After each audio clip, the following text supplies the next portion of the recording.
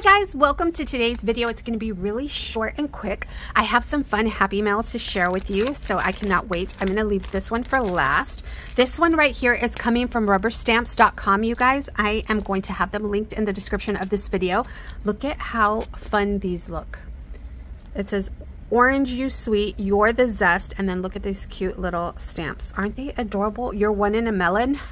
How stinking cute. We make a great pair. That is adorable. So stinking cute. Cannot wait to play with these. And then we have these right here. Flowers are happiness. And it's just got some little glass vases or what I perceive to be glass vases or jars and some little flowers. And it says live life in full bloom. Thank you. Thank you to rubberstamps.com. I cannot wait to play with those. We'll see what we can come up with for that right? I think this one's my favorite. These look so fun and perfect for summer. And then I have this right here coming from my friend Bryn. She has sent me some happy mail. So Bryn was unable to participate in my last swap and um, she had started to work on it and then things happened and she was unable to participate.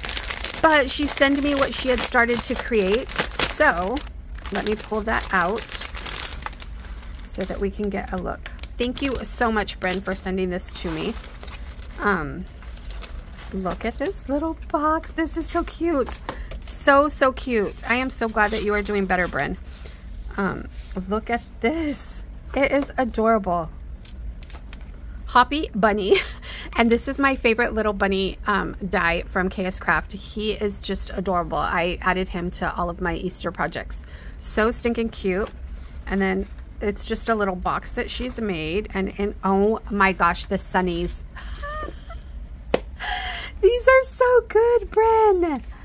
Oh my goodness. So, so good.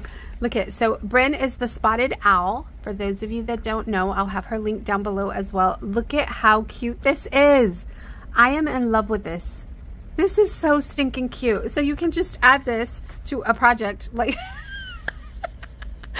that is so cute, Bryn. I am so thankful to you for sending this to me. This has really made my day so stinking cute. I love it. And this little box is adorable.